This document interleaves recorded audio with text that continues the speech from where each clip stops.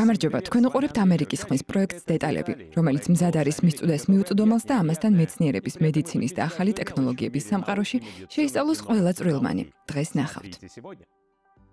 თავში შეღწევა. მეცნიერებმა აზრების ამოკითხვის ხერხი იპოვეს.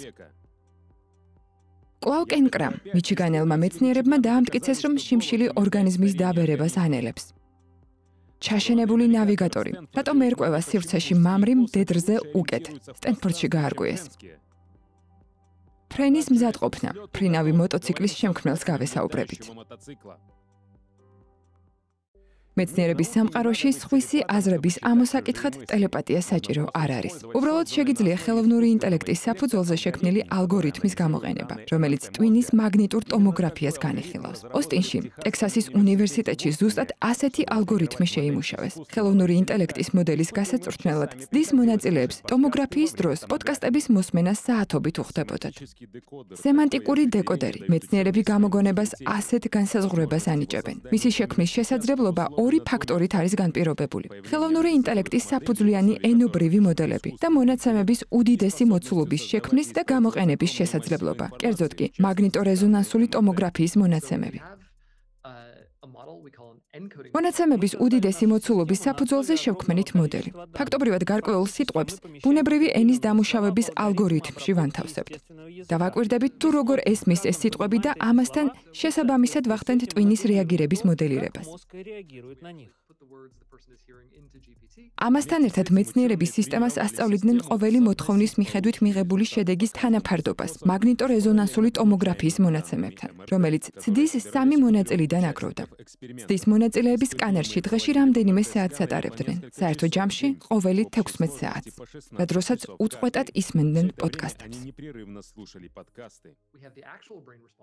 ამგვარად, ტვინის უშუალო რეაქციას ვიღებდით და ალგორითმის მიერ მიწოდებულ პასუხებს ვარიანტებს ვადარებდით. რის შედეგადაც ვარიანტების რეიტინგს ვადგენდით იმის და მიხედვით თუ რამდენად კარგად ასახავს ყოველი მათგანის საწყისი მოთხოვნის არსს.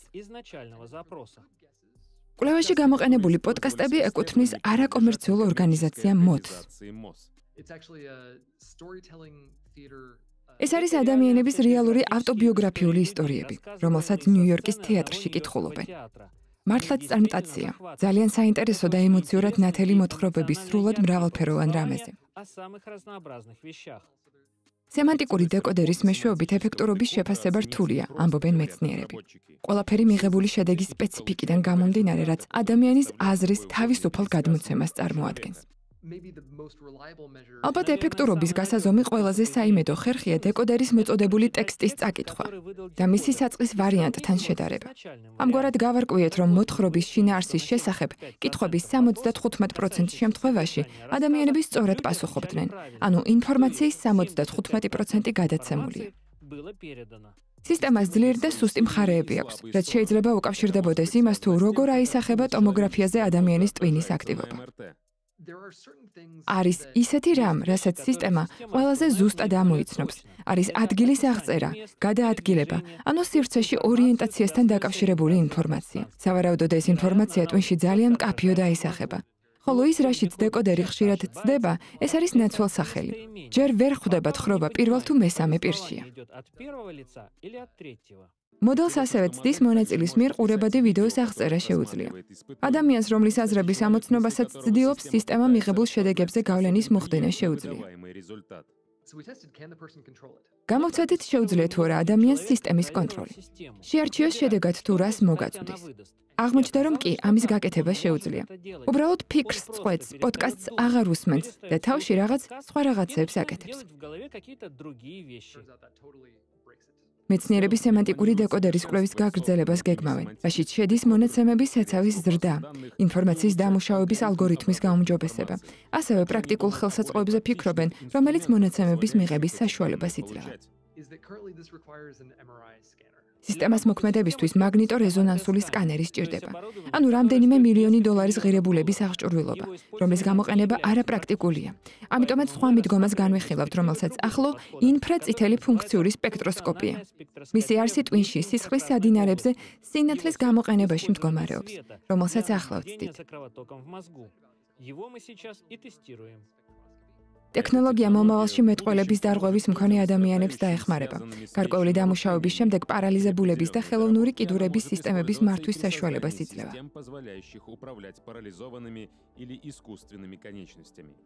Андрей Деркач, Юрий Закревский специально для программы Детали.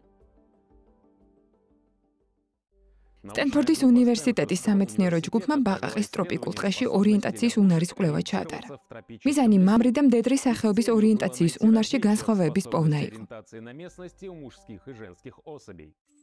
მეცნიერებს ორი ჰიპოთეზის შემოწმება სურდათ. ერთის თანახმად, მამრი მდედრზე მეც მოძრაობს და ამიტომაც ნავიგაციის უკეთ უნარს საჭიროებს. მეორე ამტკიცებს, რომ უკეთესი ნავიგაცია ზოგადი სასქესო ჰორმონის უფრო მაღალი დონის გვერდით მოვლენას წარმოადგენს. რადიო გადამცემს ცირე სილიკონის თასმით ვამაგრებთ, რომლის ზომა 2-დან 4 სანტიმეტრამდეა. ჩაშენებული ანტენა ბაყაყის ტყეში გადაადგილებაზე დაკვირვების საშუალებას იძლევა. როდესაც ადგილის დადგენა გვინდა, სიგნალს აღნიშნავთ და უკან გადავცემთ. სამუშაოში სამი შხამიანი ბაყაყის სახეობის გადაადგილებას და ჰორმონების დონეს აკვირდებიან. ორ სახეობაში შთამომავლობაზე მამრები ზრუნავენ, მესამეში კი მდედრი.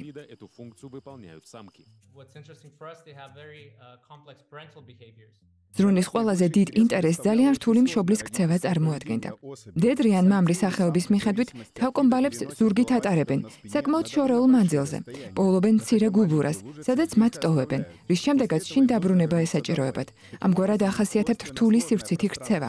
სახეობები განსხვავდება იმით, თუ ვინ ასრულებს ამ სამუშაოს, დედრი თუ მამრი. ამ ჭრილში კვლევისთვის ბაყაყი უკეთესი მოდელია ვიდრე ზუზუმწოვარი, რომლებშიც რთულია ისეთი სახეობის პოვნა, სადაც მდედრი მამრზე უფრო ხშირი ხშირად გადაადგილდება. შედეგად მეცნიერებმა დაასკვნეს, რომ მონაცემები სავარაუდოდ ადასტურებს ჰორმონების გავლენის ნავიგაციის უნარზე ჰიპოთეზას. კერძოდ კი, ანდროგენების გამოფრქვევას, რაც ეწინააღმდეგება ადრეულ წარმოდგენებს იმის შესახებ, რომ ნავიგაციის უნარი მამრის შორეულ მანძილზე გადაადგილების გამო განიცდიდა სრულყოფას. კვირის სხვა ამბები ჩვენს დაიჯესტში. კერძო ამერიკულმა კომპანია United Launch Alliance-მა ფლორიდის კოსმოდრომზე ახალი თაობის რაკეტა ვულკანი გამოსცადა. რაკეტა მეთანზე მუშაობს და ატლასი და დელტა უნდა ჩაანაცვლოს, რომელიც ექსპლუატაციიდან უნდა გამოიყვანონ. როგორც მოსალოდნელია ვულკანი პირველი მისიით წლის ბოლოს გაფრინდება. United Launch Alliance აშშ-თვის და სხვა კლიენტებისთვის კოსმოსური აპარატის დედამიწის ორბიტაზე და მზის სისტემაში გაყვანის მომსახურებით საქმიანობს. როგორც აღმოჩნდა, კოსმოსში ხანგრძლივი ყოფნა ადამიანის ტვინის აგებულებას ცვლის. ფლორიდელმა მეცნიერებმა 30 ასტრონავტის ტვინის მაგნიტორეზონანსული სკანირება მოახდინეს, რომლებმაც კოსმოსში ორი კვირიდან ერთ წლამდე დრო გაატარეს. მათ ვინც უფრო დიდი ხანი ცხოვრობდა SKS-ზე, ტვინის მიდამოების ზრდა აღმოაჩნდათ, რომელიც ზურგის ტვინის სითხით არის შევსებული, რომელიც ორგანოს იცავს, კვებავს და ნარჩენების გამოტანაში ეხმარება. გრავიტაციული მიზიდვის არარსებობა ქალაში ტვინის ზევით გადაადგილებას იწვევს. რაც ამ მიდამოების გაფართოებას იწვევს. ის თუ რა ჯანმრთელობის შედეგებს გამოიწვევს, ასეთი ცვლილებები ჯერ უცნობია. კვლევა გამოქვეყნებულია გამოცემა Scientific Reports-ში. ბულგარულმა კომპანია Dronamix-მა სრული ზომის სატვირთო დრონის ცდა ჩაატარა. მოწყობილობას სახელწოდებით შავი გედი 350 კილოგრამის წონის ტვირთის გადატანა შეუძლია 2500 კილომეტრის მანძილზე. Dronamix-ი არის ევროპაში პირველი დრონით ტვირთის გადაზიდვის ლიცენზირებული კომპანია. გამომგონებლები კომერციული ფრენების გაშვებას აპირებენ ბულგარეთიდან საბერძნეთში წლის ბოლომდე. до конца года. კანადაში ტყის ხანგრძლივმა კვამლმა ამერიკის მეგაპოლისებს ფილადელფიას, ნიუ-იორკს, ვაშინგტონს, ატლანტას მიაღწია. აშშ-ს მცხოვრებთა მესამედმა ადგილობრივი მთავრობისგან ჰაერის ცუდი ხარისხის და ჯანმრთელობისთვის რისკის გაფრთხილების შეტყობინება მიიღეს. უკვე რამდენიმე კვირაა კანადის პროვინცია კვებეკში ხანძარი მძვინვარებს. ადგილობრივი სამსახურისთვის დასახმარებლად გადაჰყავთ სხვა რეგიონებიდან დანაყოფები.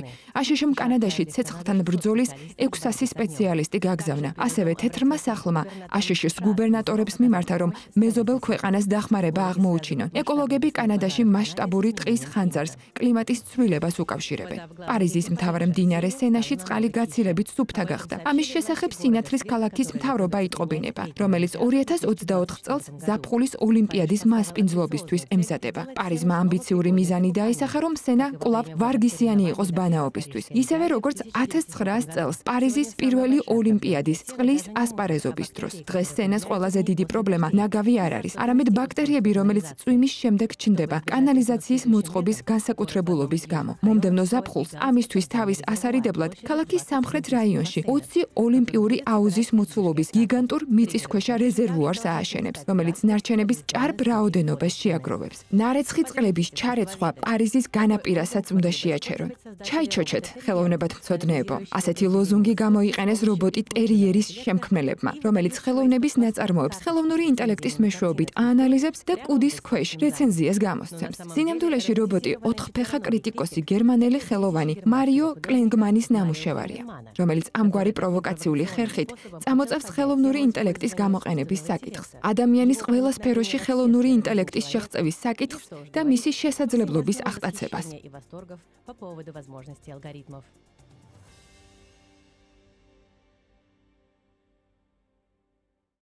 გონივრული შიმშილობის სამკურნალო თვისების შესახებ ყველასთვის ცნობილია.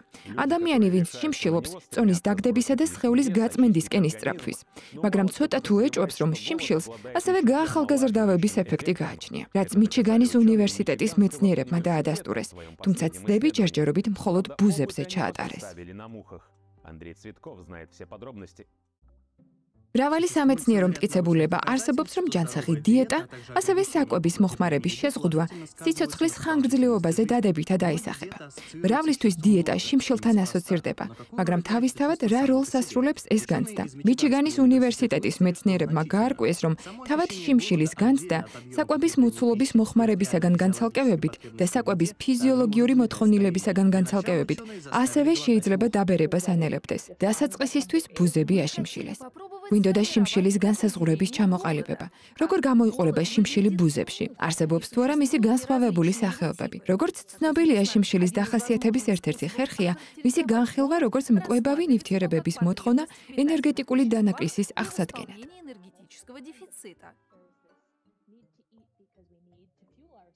შიმშილის განსაზღვრის სხვა ხერხია ჰედონისტური. საუბარია ენერგიის დანაკლისის გარეშე ჭამაზე სიამოვნებისთვის.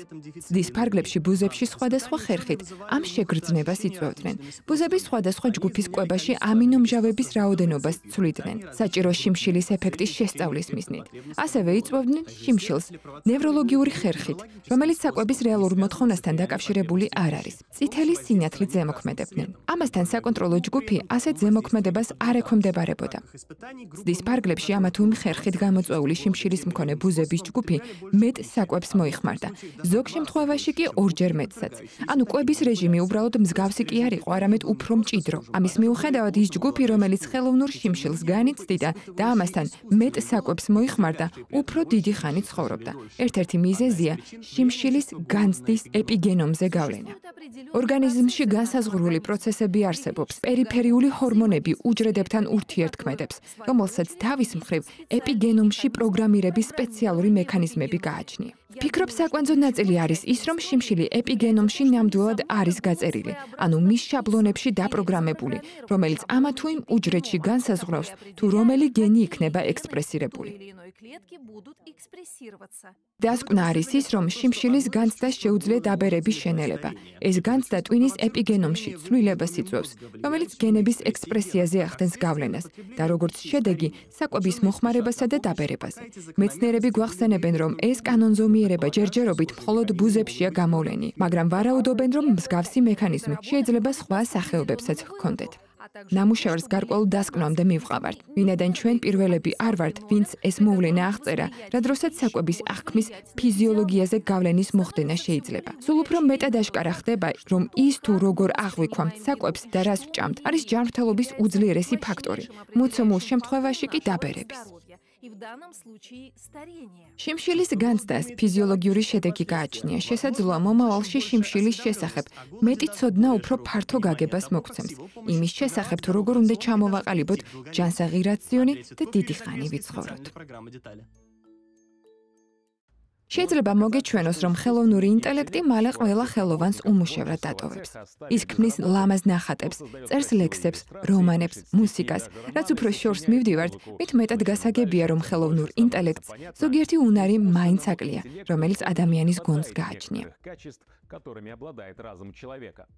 გერმანელმა ფოტოგრაფმა ბორის ელდგასენმა მარტში ზონის ფოტოკონკურსზე პრესტიჟული პრემია მიიღო.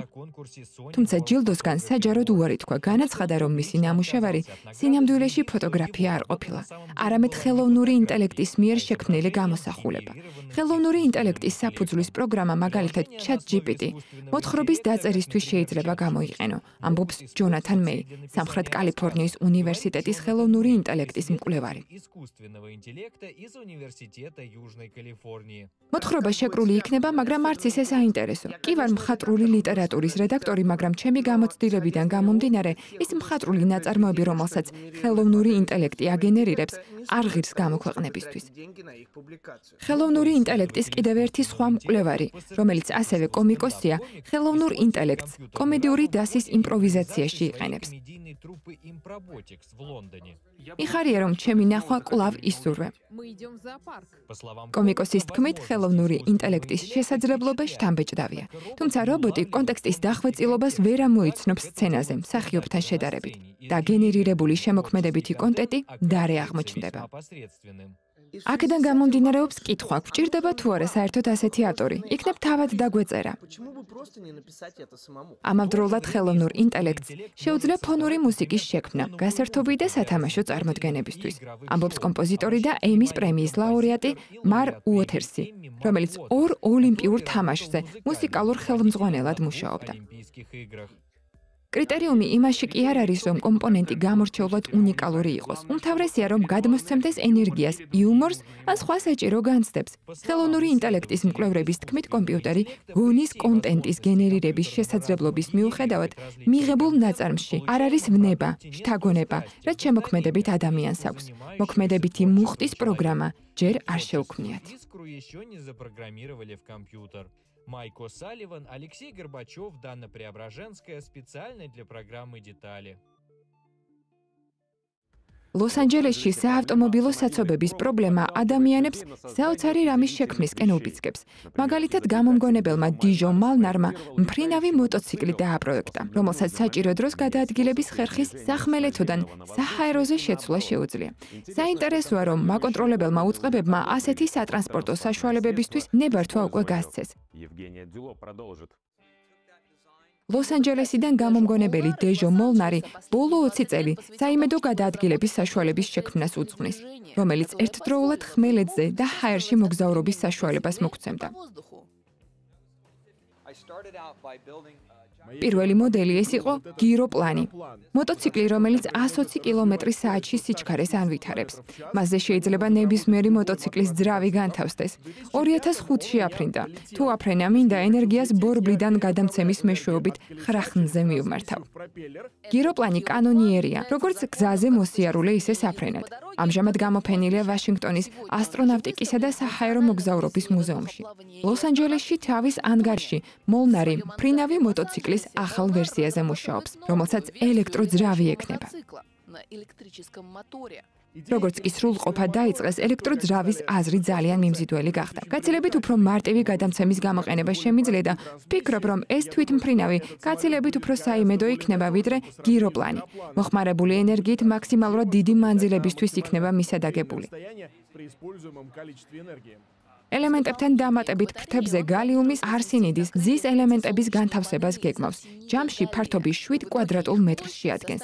როგორც ამბობს, საკმარისი იქნება იმისთვის, რომ ელექტრო აერომოტოციკლი დაიძრას და აფრინდეს კიდეც.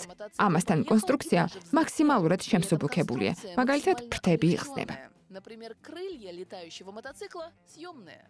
ფრთა სერფინგის დაფის ზონის არის. ძალიან ადვილად შემიძლია მოხსნა, ანუ არ არის აუცილებელი სისტემის კონსტრუირება ისე, რომ ფრთები დაკეცოს და შეატრიალოს, რომლითაც ძირითადად მფრინავი ავტომობილის შემუშავება სრულდება. მოლნარი ცდების დაწყებას გეგმავს, რათა გაარკვიოს თუ რამდენად შორს და სწრაფად შეიძლება მფრინავი მოტოციკლით მოგზაურობა მზისა და ქარის ენერგიის გამოყენებით, საწვავის გარეშე და მინიმალური ტექნიკური მომსახურებით. არავინ დაგიძახებს გიშს თუ იალქნიანი უძრავი დავით დედამიწის გარშემო მოგზაურობაში წახვალ. ადამიანები ამას უკვე 100 წელია აკეთებენ. საავტომობილო სამყაროში ყველა მანქანა იმდენად მძიმეა, რომ მზის ენერგიის გამოყენების წარმოქმნა შეუძლებელია. ჩვენი მფრინავი მოტოციკლი ძალიან მსუბუქია, დაახლოებით 320 კილოგრამი. ხედავთ, რომ ბორბლები ძალიან თხელია, ხოლო корпуსი შემოდინებული. მომდევნო რამდენიმე წელი მოლნარი მფრინავი ავტომობილების შემქმნელებისა და მფლობელებისთვის ასპარეზობის მოწყობას გეკმავს და უნდა ამგვარად შექმნას ეკოსისტემა, რომელშიც ტექნოლოგია ტექნოლოგიის გაძლიერებული განვითარება მოხდება. Евгений Дюло специально для программы Детали из Лос-Анджелеса. მეცნიერებმა ჰაერში ფლორისა და ფაუნის სხვადასხვა სახეობის დნმ-ის ანალიზის მეშვეობით ეკოსისტემებში მიმდინარე პროცესებზე დაკვირვების ხერხი შეიმუშავეს. სცენარისა და ცხოველის სასიცოცხლო წრედის გავლასთან ერთად გარშემო გენეტიკურ კვალს ტოვებენ. ბეწვი, ბუმბული, მტვერი. მეცნიერებს შეუძლიათ ჰაერის ნიმუშის აგროვება და მისი ანალიზის მიხედვით თქვან, ცხოველისა და მცენარის თუ რა სახეობა არის ადგილობრივ ეკოსისტემაში. This is the kind of ჩვენ მოწყობილობაში ასეთი ფილტრი გამოიყენება. ჰაერი შეიწოვება და მასში არსებული მყარი ნაწილაკები ფილტრზე ილექება. დავალების შესრულების შემდეგ მოწყობილობიდან ფილტრს ვიღებთ, რის შემდეგაც მისი შიგთავსი დნმ-ის არსებობაზე მოწმდება. აგროვებული ნიმუშები ლაბორატორიაში იგზავნება. ეს ხერხი შეიძლება ბიომრავალფეროვნების მიკვლევის რთული დავალების გადაჭრაში დაგვეხმაროს. დნმ-ის მცირე მონაკვეთი არის ძალიან მცირე ნაწილები, რომლის გამოყენება შეიძლება ცხოველის სახეობის ეფექტური დადგენისთვის. სცენარის ანალიზისთვის სხვა ტაქსინომიურ ჯგუფს ვიყენებთ, მაგრამ აზრი მდგომარეობს იმაში, რომ ამისთვის ძალიან ცოტა ნედლეული გვჭირდება. მეცნიერებმა ჯერ არ იციან თუ რა მანძილი გადალახა ფილტრით დაჭერილმა დნმ-მა. მიაჩნიათ, რომ ასეულობით მეტრია, შესაძლოა კილომეტრამდე. ის თუ რა ხერხით იქნება უმჯობესი, ამის გათვალისწინება მეცნიერებმა მომდევნო ნამუშევრებში უნდა განიხილონ.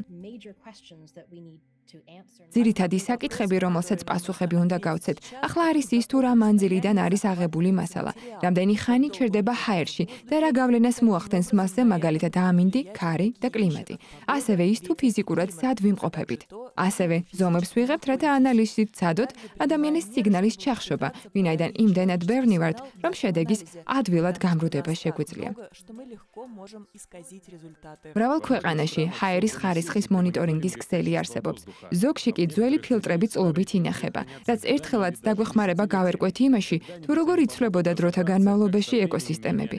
მეცნიერები ყველა ორგანიზაციას, რომელიც ასეთ ფილტრს იყენებენ, მოუწოდებენ, რომ კარგად შეინახონ და გაყინონ კიდეც. თქვენ უყურებდით დეტალებს. მომავლის სამყაროში მორიგჯერზე ერთ კვირაში შევხვდებით დროებით.